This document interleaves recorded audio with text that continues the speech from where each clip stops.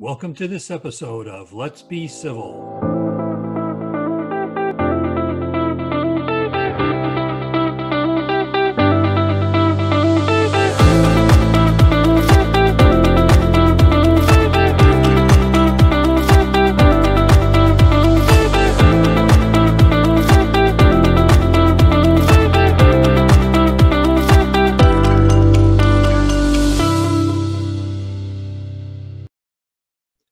My guest on Let's Be Civil is Lisa Powell.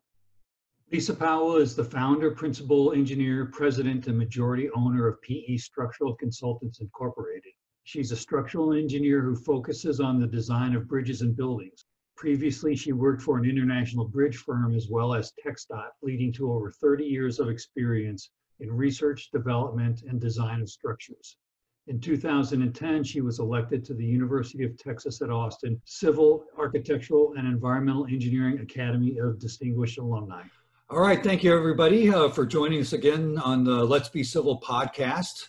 And uh, today I'm going to tell you that uh, the dogs are already barking um, uh, at, at, my home office. And so uh, we might get serenaded a little bit this morning, but if that happens, uh, um, we'll just see how bad it is. We may do a little stop and, and restart. But um, I've got Lisa with me today, uh, and um, I'm going to let her do a little self-introduction, and and we'll be off and running, uh, just talking about life as an engineer. All right. So, well, so go ahead and tell us a little bit about yourself. Well, thank you, John. Yep. Uh, so my full name that I use professionally is Lisa Carter Powell, comma PE. Uh, so I grew up Lisa Carter on the East Coast as an only child, following my daddy around, uh, who um, actually never went to college, but learned um, through various channels uh, the art of engineering. And he uh, he worked for a big steel company on the East Coast, and actually had a full squad of engineers uh, that he oversaw.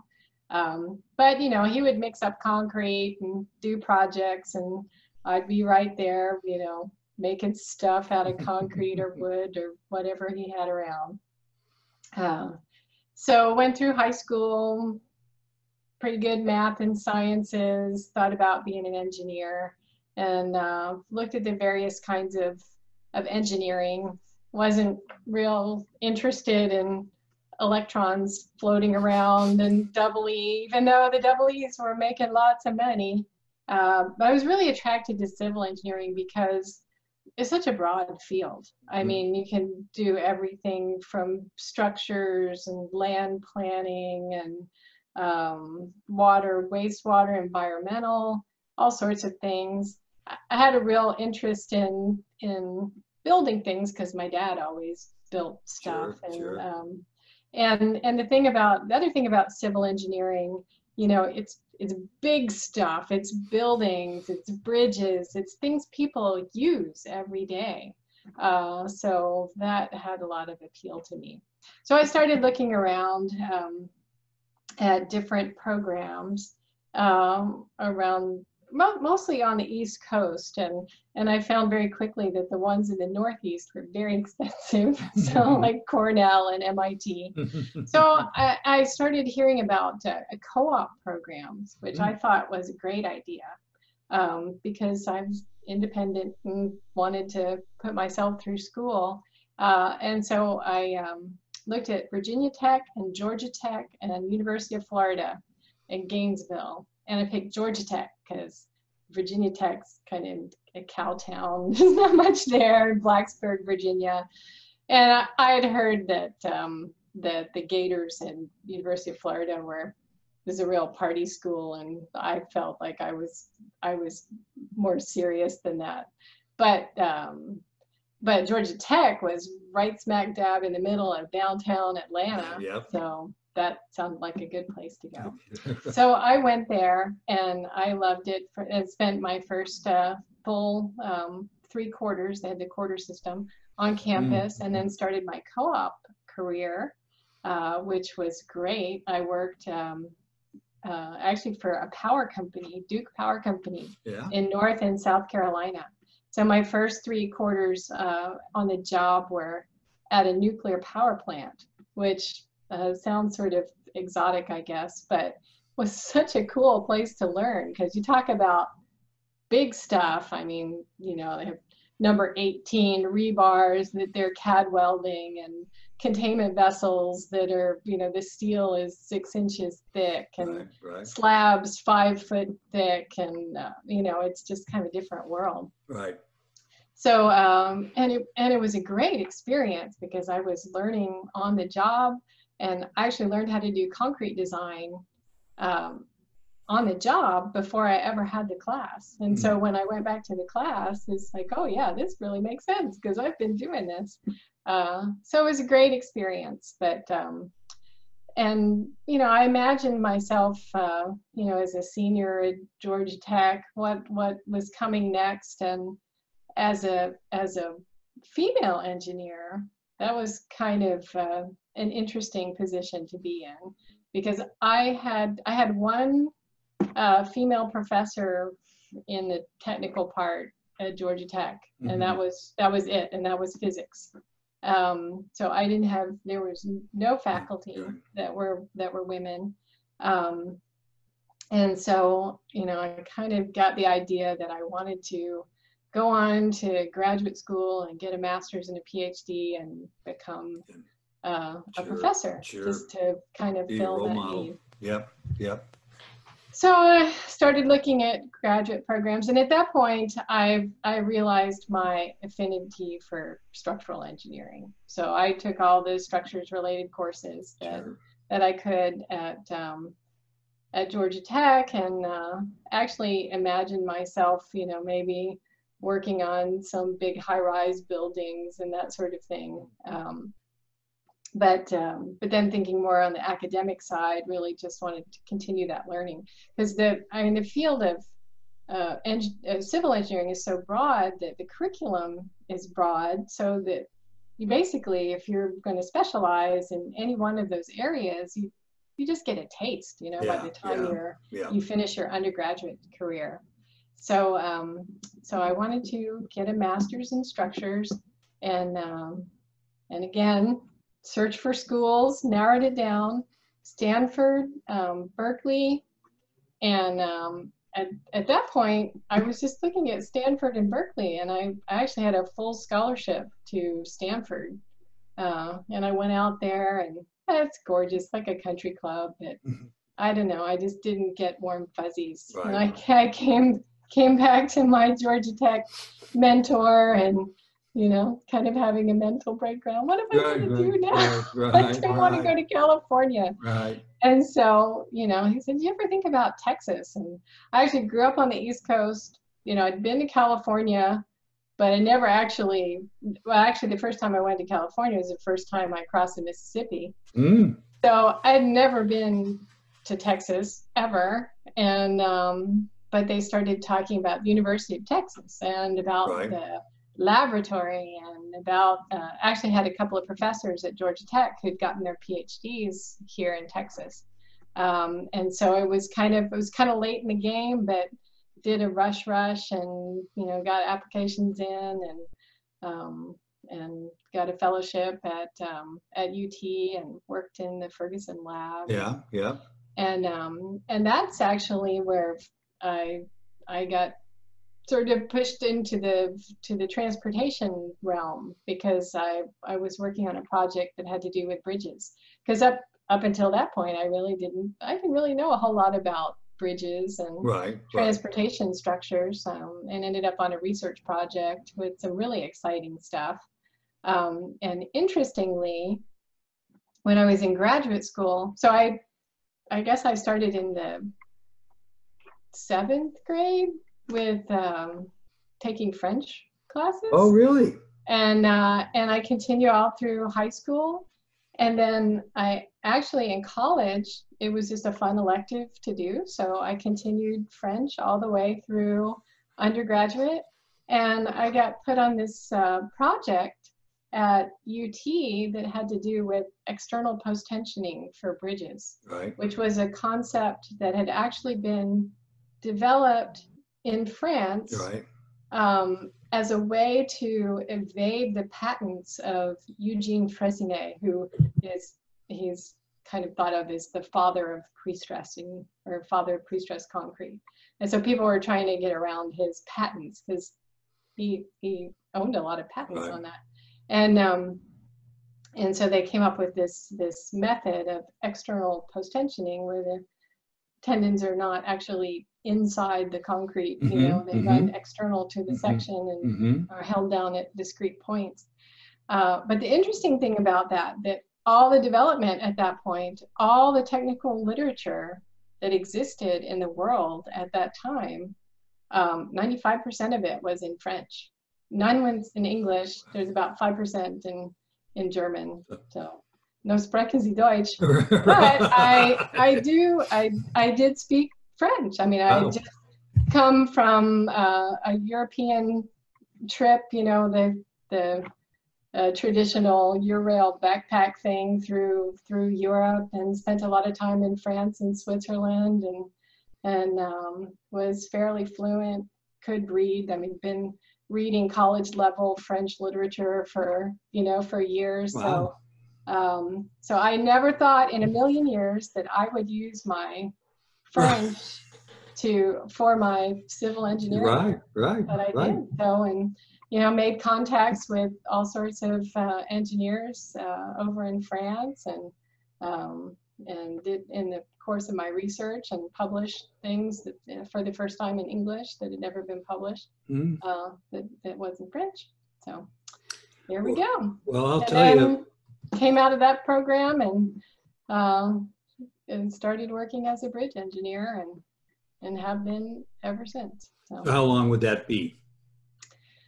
well Date yourself. That is actually about um, 33 Wow. some odd years, Wow. uh, if you count everything. So, um, have really enjoyed it. I've also worked on, I've done a lot of things, building projects and and and Mhm. different things, not Mhm. just not just bridge work, but my Mhm. love is really for for bridges and concrete and um, so uh, I actually met my husband at, in the lab at the University of Texas Okay. um, in the Phil Ferguson lab. And uh, he's also a structural engineer and with a master's degree from, from UT. Um, uh, I guess towards the end of my master's, it, it ran a little long for, for several different reasons. And by the time I finished my master's, I thought, okay, well, probably not going to do that PhD, but been having fun doing this for, for so long. Yeah, Sure. Uh, we started, um, well, I, I worked first for an international bridge company. Um, students that follow the news will know who FIGG Engineering is Right, because yeah. that was the FIU collapse. I actually had worked closely with the with the engineer of record on that uh, Mm. at FIGG, um, and then uh, and then went to work for TxDOT.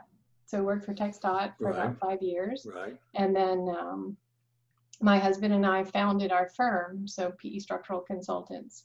So that was in uh, 1992. So we've had the firm for going on 28 years in Wow. October. Impressive. So Impressive. um, done a variety of projects and mostly mostly public work. So Right. if you know if you're in Austin, Texas, you know we did the bridge at the airport. We did uh, the city hall, the new central library, the Austin Center for the um, for the homeless, the Arch building. Um, lots of you know 183 uh, A and SH 130 and uh, we do we do bridge work all over the all over the state. So So I now have about uh, uh, five or six podcasts worth of, of content to, to talk with you about. Um, so we can we can we can start chipping away. Um, but I'm going to go all the way to back to the to the start. So uh, uh, East Coast. Um, so you said your dad worked for a steel company. So what what what was the steel company? Bethlehem Steel, which doesn't exist anymore. Yeah, got bought by the Chinese. yeah. So I, I figured that that's what you were going to say. My um, wife was actually born and raised in Bethlehem, Pennsylvania. Oh, Um, really? and uh, her father worked for Bethlehem Steel, uh, you know, part of part of the uh, uh, manufacturing side of things. He's not an engineer, um, and uh, I went to Lehigh for my Ah, master's. okay, yeah. So so when you said you know East Coast and in, and, and a steel firm, I figured that's the was the case. Um, they had uh, uh, a large tower uh, that was you know, you know the uh, headquarters for Bethlehem Steel, and when when they no longer existed, uh, they were looking to do something with the tower, and um, uh, if I remember things correctly, there was asbestos in the building, but it was built at a time when you know before Yeah. anybody knew anything. 18 stories or something like that, and so it it was not uh, financially feasible to to remove it to repurpose the building and then there were issues with well tearing it down then you've got you know exposure and stuff like that but they ultimately imploded the building. And uh, my wife said it's a it's a struggle for her to fly in there. Uh, her sister still lives there and to no longer see the the landmark uh, Yeah. because it was the tallest building you know in in the area there. And so now it's not there. I mean it, not that it's the same thing as uh, as 9-11 but it, from the from the emotional response perspective of things for her to to not see this you know essentially the the the reason that bethlehem exists is the steel company and and uh, you know and that icon is no longer there. So um, so that you know I, I i figured that that's and then when you said things like cornell and stuff like that you know i was like okay so so that's where that's probably the case.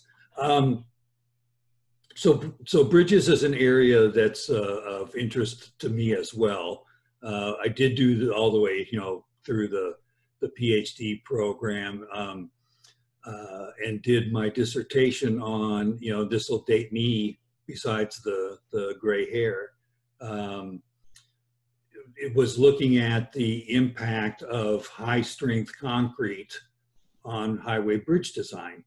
And, you know, today, you know, it's like with a lot of things, you're going to go, well, you know, high strength concrete, big deal. You know, we, we do this all the time. It's kind of become more the norm than the oddity. But at one point in time, you know, doing something in 10,000 PSI concrete was a special set Yeah. of circumstances. It wasn't the norm. And um, so my dissertation was looking at how would we redesign standard AASHTO, bulb tees, box sections, or whatever, if we knew we could generate, you know, uh, uh, routinely a 10,000 psi mix uh, and had high, you know, high uh, uh, uh, tension steel, you know, high strength strands, uh, and and actually use six tenths inch uh, strands. And so, what would we, what could we do in terms of uh, uh, reconfiguration of not just the cross section, but the placement of the steel and and and such. And so. Um, that was a you know a, a lot of parametric study, uh, but this will be now for all you kids out there one of those kind of statements. Um, I actually had to write uh, a a basic language series of software programs to do bridge design so that I could do the parametric study because there's no way you were going to by hand Right. tweak tweak something and then run through a whole series of computations. So I had to had to write uh, software, my own software to to do the bridge design stuff. I actually have the five and a quarter inch. Was it five and a quarter? Yeah, because it was three and a half.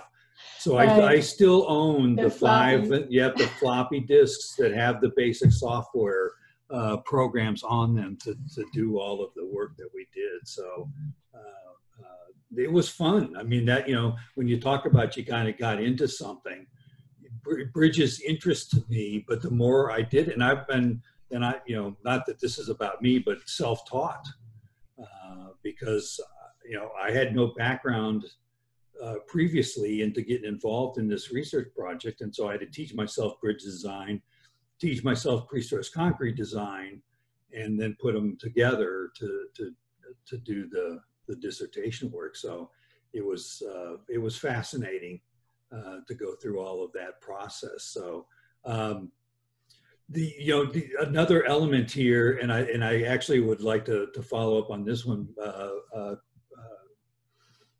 maybe more than than other things as you mentioned that there were no other there was no female uh, faculty um, and and I recognize that as an as an issue on on a lot of campuses. I think most people do uh, is the lack of uh, sufficient role models.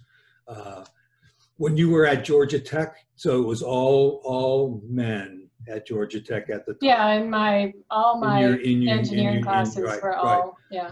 How many other women were in classes with you at that time?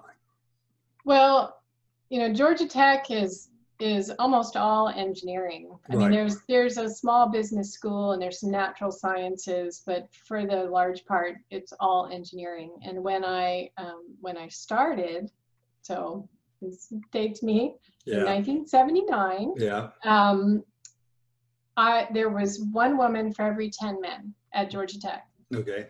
But by the time I finished my five-year co-op program in 1984, it was one to five. So um, you know, it's changing changing very rapidly. Right, and right. now when I when I worked at, with the students at uh, UT campuses, other other campuses, It's getting pretty close to 50 50. Uh, so that's really that's really exciting. Yeah. Um, yeah. You know, there aren't. Um, I, I, our, our firm is pretty unique uh, because right now we have um, we have about uh, we have 21 folks and we have um, uh, a dozen licensed engineers and and then EITs and CAD. Um, my two vice, I have three vice presidents, two of whom are, are women.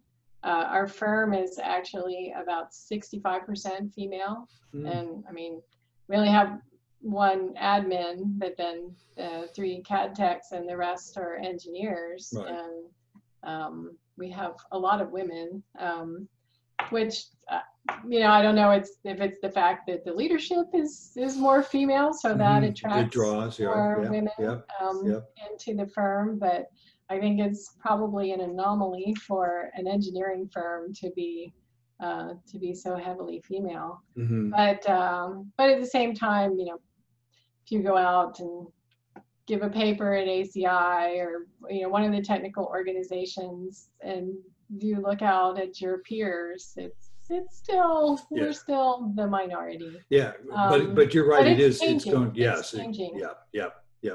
Uh, And the more the more women that that are in the leadership positions and the project managers and the and principal engineers, uh, you know, I think that it, it attracts more of the younger younger women, and they Mhm. look and see, oh well, she's doing that, I can Right. I can do that too. Right, so, right. Well, now, the, the, the classic comment that, that young ladies will make about not choosing engineering is um, either that they didn't feel they were strong math and science or strong enough math and science. That, that, that's historically, I'll say, is, is something that we would hear a lot. And, and I think the other would be that there's, there's uh, no role models. And, and, you know, I mean, you go back to when I was a, an undergraduate student, there were very, very few females within any class that I took. I mean, you know, it was one or two, if there were any. Um, today, uh, you know, when I have classes where uh, close to 20 to 25% of the population of the students in the classroom are, are, are young uh, women, which is a huge improvement uh, and, and a very positive one. But for you, did you feel any of this kind of, you know, maybe I shouldn't do this because you know, there isn't anybody else like me in the classroom, or do I really feel strong in my in my academics to to succeed? Um, and actually, it'd be interesting. eh, Did you ever have anybody suggest to you that you were, you know, pursuing the wrong career path? From from you know, You know, your- I, th- I think that I've been lucky. I mean, my I was like I said, I was only child, and of course, you know, my parents thought I was the greatest thing since sliced bread, and so you know, whatever whatever I set my mind to, I mean, they were always you know 120 percent behind me. so Right, I never had any any issues about that. They were always very um, very encouraging. And, What about in um, high school, though? I mean, so in high school, did people encourage you, or and I don't want to say discouraged you, um, but maybe not encouraged you to pursue something like an engineering uh, uh, Actually, high school is when I first started. Well, I took drafting. I think I was the maybe. I think I probably was the only girl in the drafting class. Um, but um, yeah, I mean, I I went to a fairly large high school in kind of kind of rural Maryland, but we had like 600 kids, so that was pretty big for back then right. and um, you know we had a pretty strong i mean i you know i excelled in all my maths and scientist uh, science courses and and my professors were uh, well not professors my teachers back Yes. then were always very encouraging and uh, you know I, I i feel you know I, on one hand i didn't i didn't have many role models that were female Mhm, But- mhm. you know, I had lots of great role models and mentors that um, that were male, and I mean, regardless of your gender, you know, Mhm. there's positive traits that you know you look up to and you want to emulate. Sure. Um, so uh, yeah, I never, I have had a few things along the way. I had, you know, as private developers sitting in my conference room and uh, you know working on on a project mostly with my husband that he was working on and and you know I was sitting right there at the Right. conference room table um, and you know and he kind of goes on about how he would never get a woman to you know do design work for him that was just beyond his wildest imagination Right, right. well Right, um, you're but you know right, i've learned to keep my mouth shut and just smile on through those things but uh, for me personally um, the fact that i was one of few was actually a positive thing because when there aren't many like you um, you tend to stand out in a crowd and mhm. people remember you Mhm. and um, you don't get you know get lost in a sea of faces you know on, the, Mhm. on the other side you you're in a room with a whole bunch of guys it's kind of it's kind of hard to remember you know one in particular Right. um, Yep. Yep. if you're the only woman then they're Yep, they're certainly gonna- all going to remember you Yep. Yep. um, so I've always seen it as an opportunity uh, rather than a hindrance. Sure. Sure. I won't say that it's you know it's always easy. I think that you have to um, uh, uh, you certainly have to work a little harder and and be on your toes. Uh, just because of the fact that you're different and you're Right, standing out in the crowd right. um, but I've never I've never seen it um, uh, as a as a really huge hindrance. Really, more as an opportunity, and I've never had people to help, except for that private developer. That Right. Right.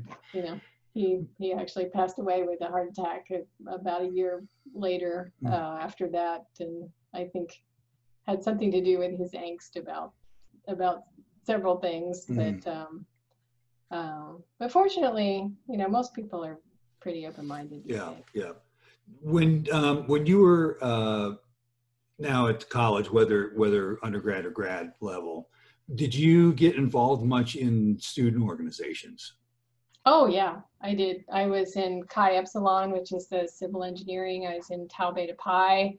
I've got my got my You got over there that Okay, I right, that yeah, I polished. Yeah. Um, and I was uh, I was very very active on campus. Um, I was I was actually a TA in English. Mm, at, at Georgia Tech.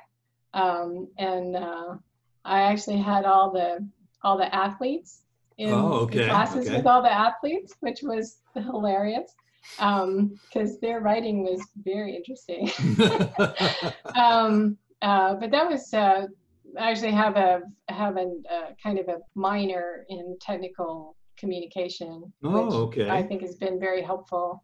Uh, you know, because they always make the jokes about engineers that they can't spell and they can't write, but I think it's one of the most important skills that you can have as an engineer is Mhm. the ability to write and to to speak.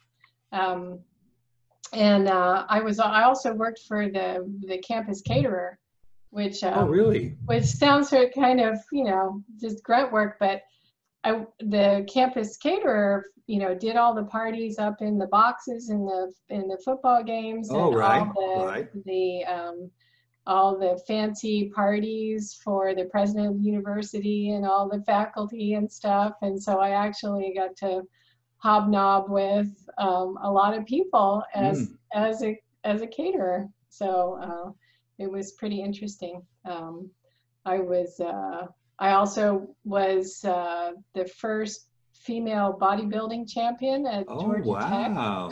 Are you going to show us your guns? I'm sorry I don't have those guns anymore. But I had them at one time. I've got the pictures to prove it. But I was uh, yeah. So they had the the Mr. Georgia Tech contest every year, um, and so there'd never been any women in it. So um, I was a member of the Barbell Club, which you got to have access to a weight room that was on my side of the campus 24 7. Um, and I said, well, why aren't there any women in this competition? So I was the first female bodybuilding champion. of, Well, uh, now you've just added another layer of future conversations so, to, to all of this. So um, we're, we're, it, it surprises me how quickly these Oh, conversations go because we're, we're, but so I'm, I'm gonna, I got to throw in a little, little something since you brought that up and we'll, we will have to have some more conversations because there was, I mean, I, I, I like to focus on the conversation and, and, and not be jotting notes, but I probably have a full page of, of notes from, from talk with you of stuff that I would want to go back and, and touch on. But um, uh, back in the fall, I decided that I needed to start changing some lifestyle stuff for myself. And, and so I always played sports for fun, not, not, I, I, I w- was not competitive sports player. Uh, you know, um, I wanted to just enjoy the camaraderie and, and, and doing things. Uh, came from a family or come from a family of 10. So, you know, we could, we could compete against each other and you know play in the backyard and and and do a lot of things so never i mean we ran around so much that you know physically didn't didn't need to do anything else um, but i'm i'm 60 uh, and my body is showing that i'm 60 and so i decided i was going to start working out um, which i i've never had an intentional workout you know uh, process or you know anything. It was just all just going out and playing golf or you know in the yard with the kids and stuff like that so i started lifting and and um, i got up early and and lifted um, now the the uh, facility literally across the street from my home in our in our subdivision we actually have a fitness center as a part of the subdivision uh, is closed so i can't i can't Yeah. in there to, to use it. Um, but, you know, I was actually, you know, developing some muscles and now it's turned into flab. Um, uh, hopefully, you know, it'll reopen again. I can get back after it. Um, but I would kid around with the students, uh, uh, you know, you know, so I, one of the, one of the athletes would walk in with a, you know, tight, uh, you know, uh, Under Armour shirt or something like that, and the muscles bulging, and I just go, you know, like a 60 year old guy right there, you know, kind of a thing. So um, it's it's uh, it's interesting, and and I'll I'll I'll let you comment on this, and then we'll have to wrap things up. But I consider myself pretty disciplined, but doing the exercise, you know, doing the lifting and stuff every day, because I did six, basically six days a week. I would go lift for a minimum of an hour.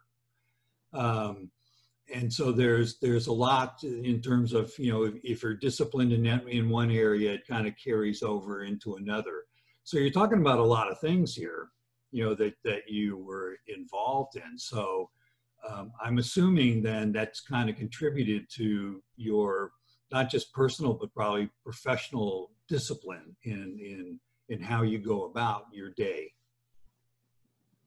Yeah i, th- I think so yeah. I mean when i um, when I was bodybuilding, uh, uh, I mean, there's a whole bunch of research that goes on with that because it's it's I mean, it's a lot about the lifting, but it's a huge part of diet yeah. and how the diet. That one I you, cannot. That that I'm not. I've not been able to to do you, that part. Yeah, but how you cut down for competition, and mm-hmm. I mean, I just voraciously read about all sorts of things and and uh, and Georgia Tech actually had this great athletic complex with one of those big uh, those tanks where they did the oh, submersion fat right, testing. Right. And I got my fat content down to like nine percent, which wow. is amazing for a woman.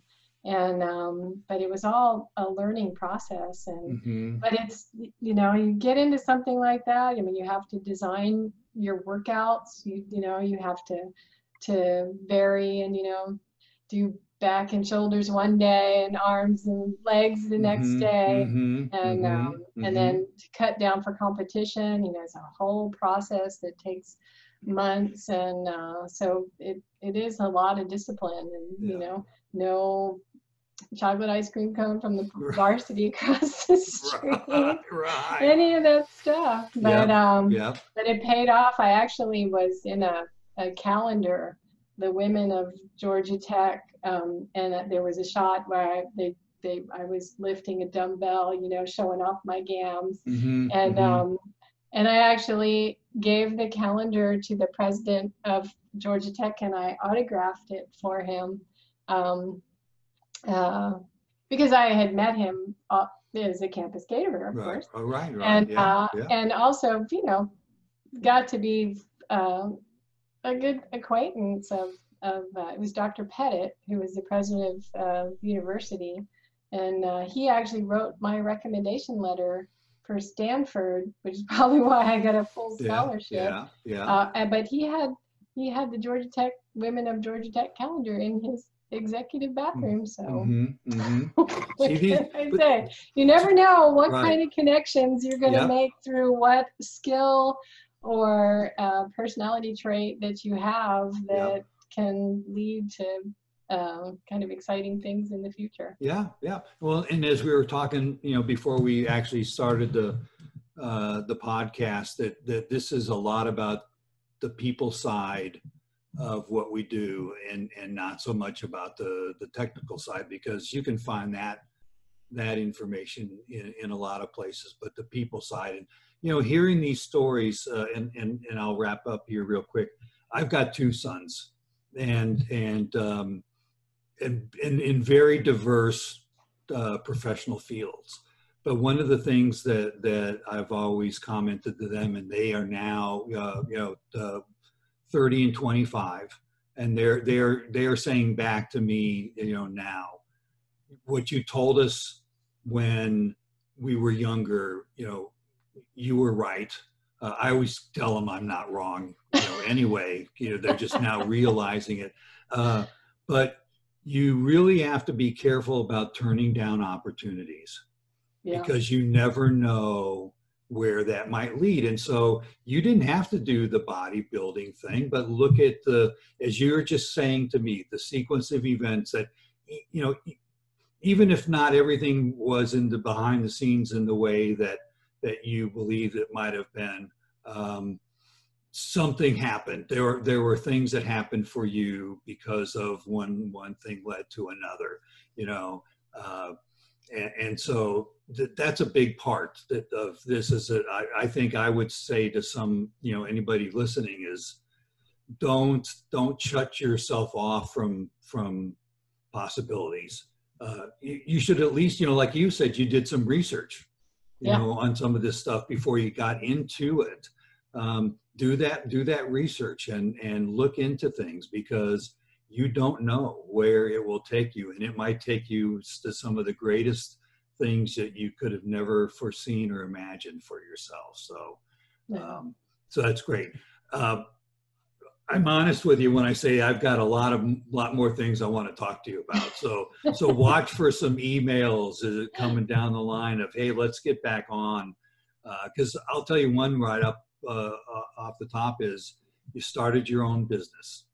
Yeah. You know, so it'd be great With, to with this much business training, yeah, you know, yeah. I've so- got lots of training as a as a structural engineer, but everything I learned about business was from bootstraps Bootstrap, and yeah. doing it. Yep.